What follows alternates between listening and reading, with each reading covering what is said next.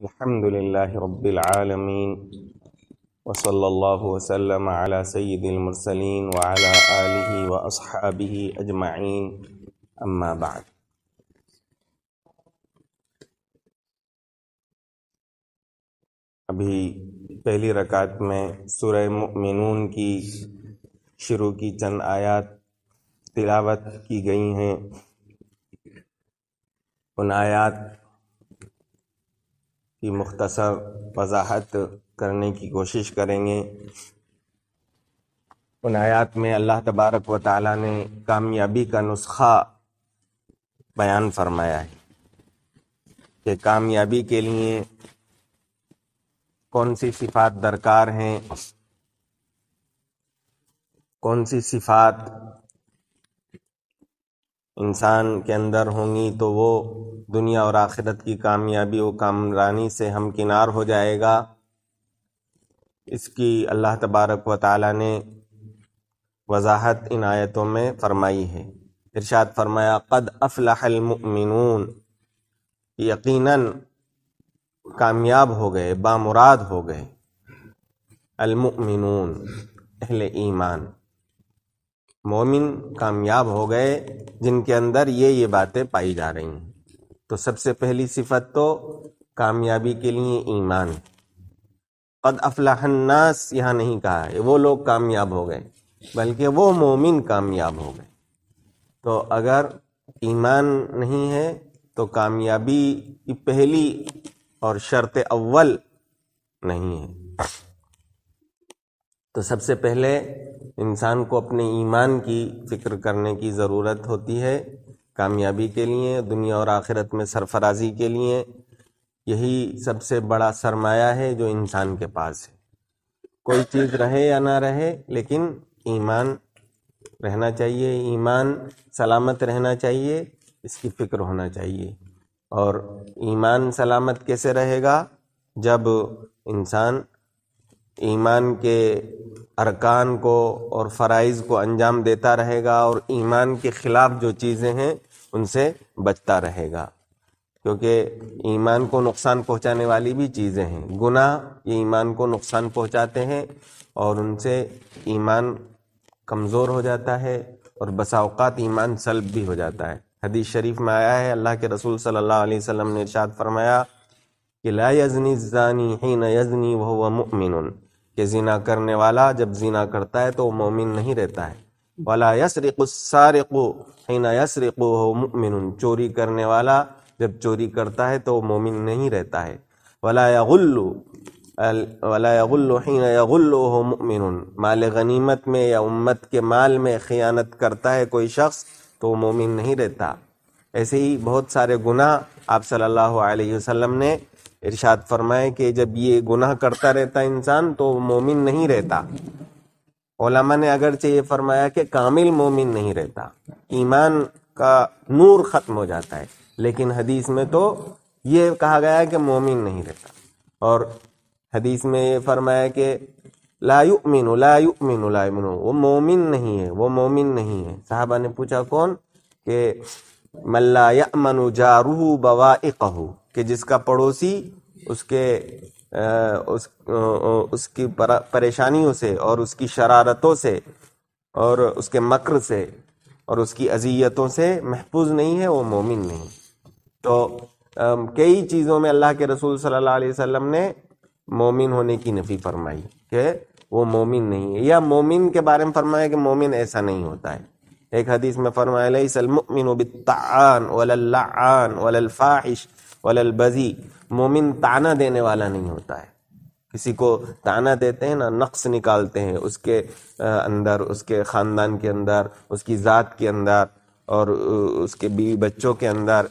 किसी भी इंसान की चीज़ में कोई ज़रर पहुंचाना या उसको उससे अजियत पहुंचाना, तकलीफ़ पहुंचाना उसका हवाला देकर ये तान कहलाता है। तो फरमा, मोमिन ताना देने वाला नहीं होता। वल्लान लानत करने वाला नहीं होता। तू मर जा, गड़ जा, इस तरह की कोई भी हलाक हो जाए, बर्बाद हो जाए, तू यहीं से न जाए, मर जाए, तू आज ही की रात में मर जाए, ऐसी लानत करने वाला मोमिन नहीं होता। वलल्फाहिश और जबान से फौज बकने वाला, गाली बकने वाला मोमिन नहीं होता। वलल बजी, जबान दराजी करने वाला मोमिन नहीं होता।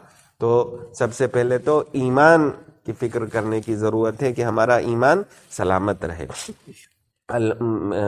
जी असलातु नमाज़ के बारे में फरमाया बैन अलमिनी बैन अलअब्दी वल कुफरी व शिरकी तरकुसला कि बंदे और कुफर शिरक के दरमियान हद फासिल है नमाज़। और नमाज़ का छोड़ना बंदे को कुफर शिर की हद से मिला देता है। इससे भी ईमान खतरे में पड़ जाता है नमाज़ को छोड़ने से। हराम कारी करने से ईमान खतरे में पड़ जाता है। तो बहरहाल सबसे पहली सिफत ईमान। कद अफलाहमिनून अल्लदीन हम फ़ी सलातिहिम खाशिऊन। पहली जो ईमान वालों की सिफत फरमाई कि वो मोमिन कामयाब हो गए जो अपनी नमाजों को खुशू से अदा करते हैं। दूसरी सिफत हुई अपनी नमाजों को खुशू के साथ अदा करना। खुशू की कैद लगा दी। खुशू के साथ अदा करना। नमाज़ में खुशू रखते हैं। ये सबसे अहम सिफत है। और अगर नमाज़ में खुशू पैदा हो जाए तो फिर नमाज़ नमाज़ हो जाती है। फरमाया हदीस शरीफ में कि ऐसी नमाज़ पढ़ो जैसा कि रुखसत हो रहे हो तुम। कल सलातम वद्दीन कि रुखसत होने वाले इंसान और रुखसत करने वाले इंसान की तरह से नमाज़ पढ़ो।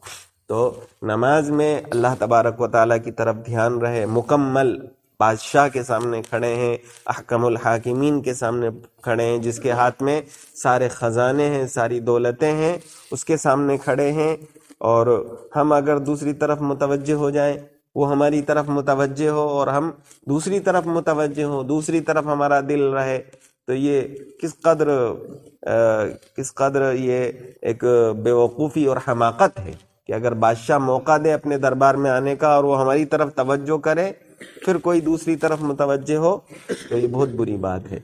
और हदीस शरीफ में फरमाया गया कि सबसे पहले जो इस उम्मत में नुकसान होगा और जो चीज़ ख़त्म होगी, वो खुशू खुजू होगा। बड़ी बड़ी मस्जिद होगी, लेकिन कोई खुशू से नमाज़ पढ़ने वाला नहीं मिलेगा।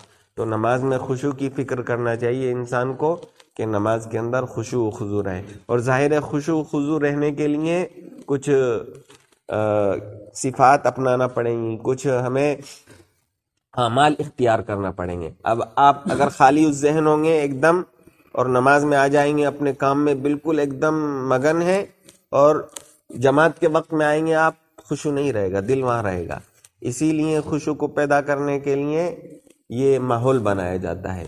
वज़ू का और इसी तरीके से अजान का, फिर जो सुन्नतें होती हैं, पहले अगरचे वो मौकदा हो या मौकदा ना हो तो वो उनके ज़रिए से ये मकसद है कि इंसान का दिल नमाज़ की तरफ़ मुतवजह हो जाए, नमाज़ के माहौल में आ जाए। और हदीस में फरमाया गया कि जब मस्जिद के लिए आए कोई आदमी तो उसी वक्त से नमाज़ में वो शुमार होता है।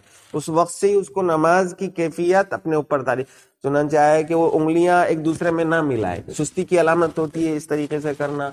तो जब नमाज़ के लिए आ जाए, मस्जिद में बैठा रहे, तब के लिए अल्लाह के रसूल सल्लल्लाहु अलैहि वसल्लम ने नमाज़ के आदाब बताए कि अभी नमाज़ में शुमार हो रहे हो तुम।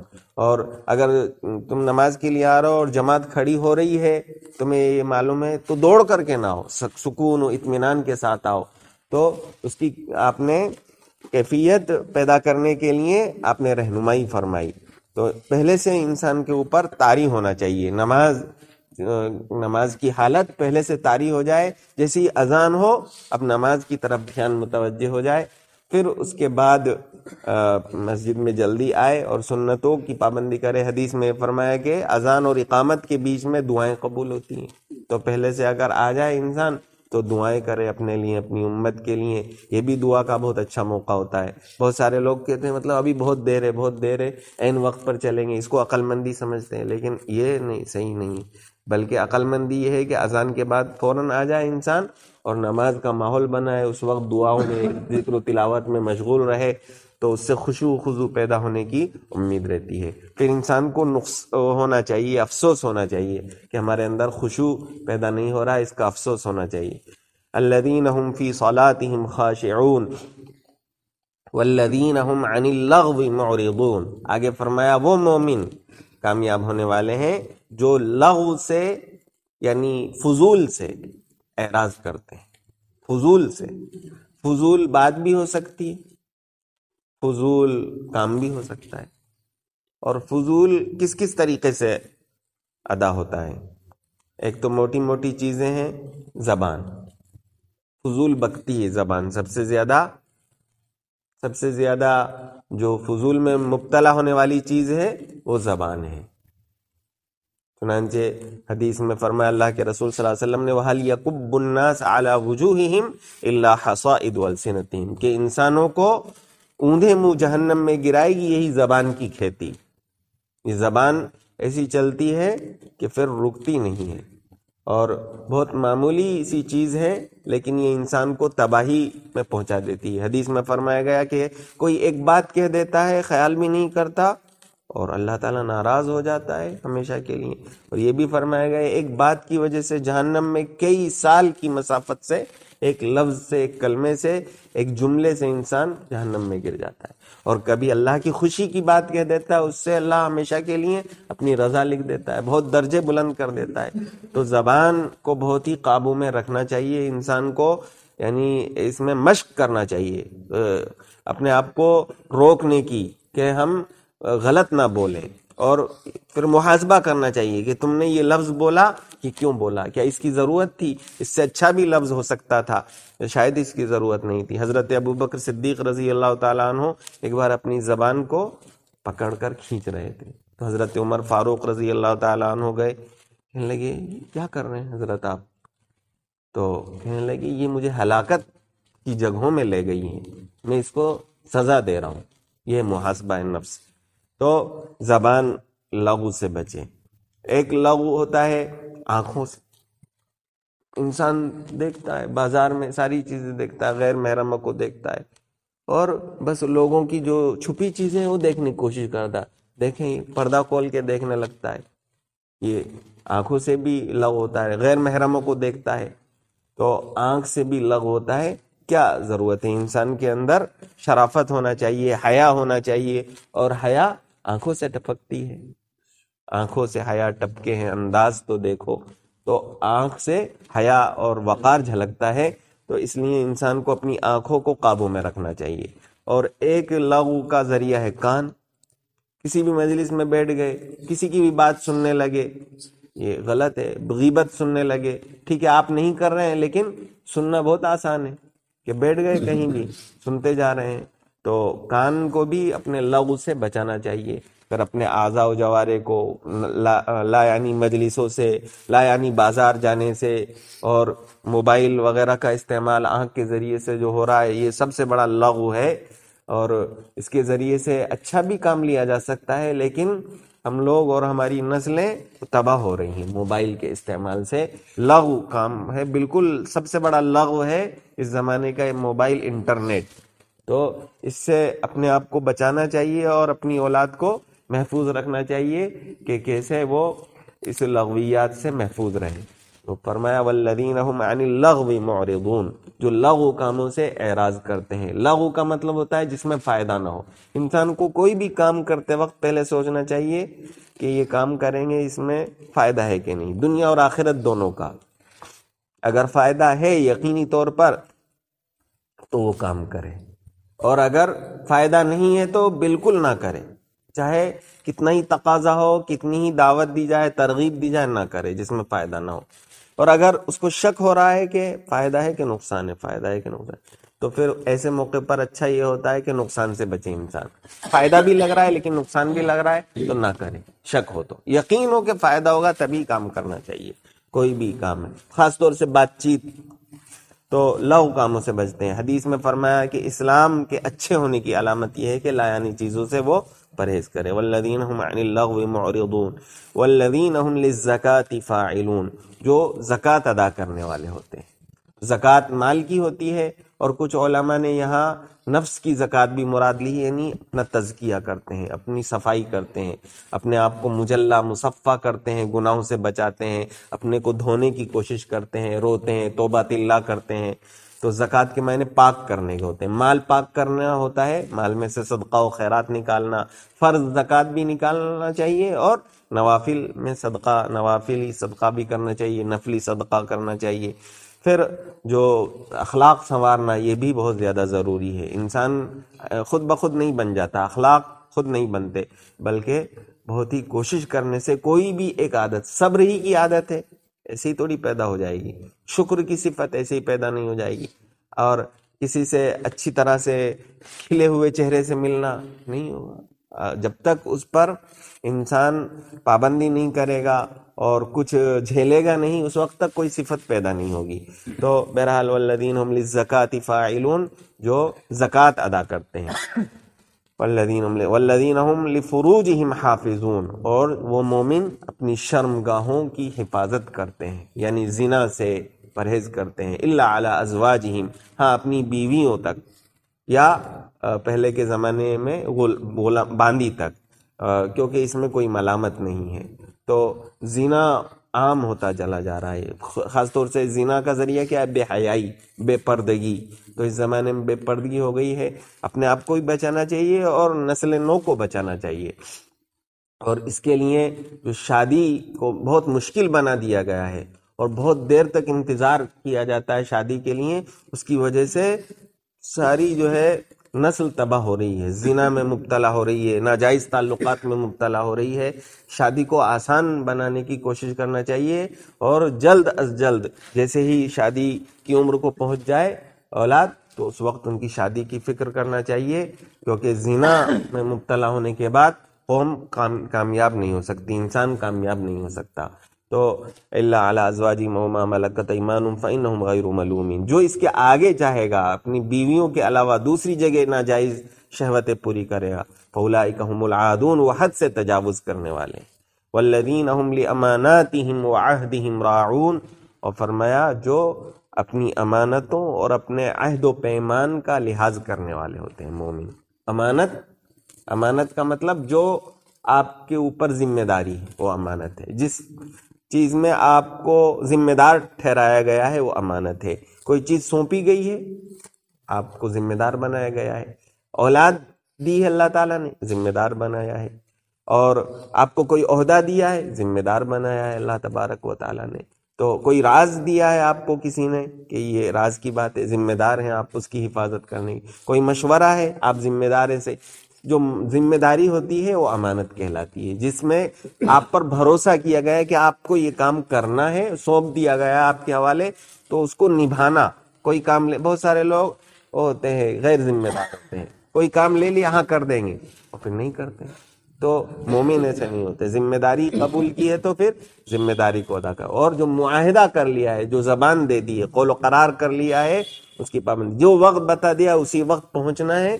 उसी वक्त उसको वो चीज़ देना है जो वक्त तय कर लिया है। वह अहद हिमराउन अपने अहद पैमान की वादों की और अमानतों की रियायत करते हैं।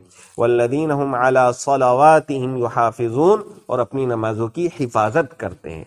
एक है खुशू, जो पहले बयान किया, एक है हिफाजत। सफ़र में जा रहे हैं, छूटती चली जा रही है, बीमार हो गए, छूटती चली जा रही हैं। कोई सी पढ़ ली, कोई सी छूट गई, ये हिफाजत नहीं है। नमाज़ महफूज रहे नमाज़ महफूज रहे और कोई नमाज़ कज़ा ना हो। और फिर यह है कि जमात महफूज रहे और जमात के साथ हमारी रकातें महफूज रहे, तकबीर उला महफूज रहे तो नमाज़ की हिफाजत बहुत ही अहम चीज़ है। तो नमाजों की हिफाजत करते हैं। उलाइकहुमुल वारिसून, ये लोग वारिस हैं। अल्लदीन यरीसून अलफिरदौस जो जन्नतुल फिरदौस के वारिस बनेंगे। वारिस का पूरा हक होता है। तो इसीलिए अल्लाह ताला ने फरमाया फिर कोई निकाल नहीं सकेगा। अल्लाह ताला हमेशा के लिए आपको उस जन्नत का वारिस बना देगा। हम फ़ी हा खालिदून उसमें वो हमेशा हमेश रहेंगे। तो ये जो सिफात हैं बड़ी अहम है इन पर गौर करना चाहिए हमें और इनको इख्तियार करने की कोशिश करना चाहिए। आखिर दावाना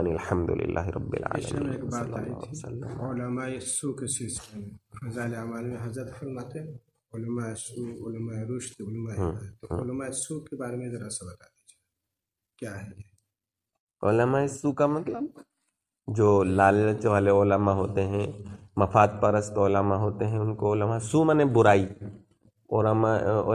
खैर खैर वाले हिदायत हिदायत का जो मीनारा बनते हैं लोगों की सही रहनुमाई करते हैं मान लो दौलत के लालची नहीं होते हैं और जो उलमा सू होते हैं कि जैसा जि, जिसका जो मसला हुआ वैसा बयान कर दिया क्योंकि उससे मफाद वाबस्ता है। और किसी एक की तरफदारी कर दी हालाँकि वो सही नहीं था हक पर नहीं था अदल नहीं किया न इंसाफी। और लालच में आके कुछ भी काम कर सकते हैं वो। बस लालच होती है उनके अंदर दुनियादारी दुनियादार ओलमा वही।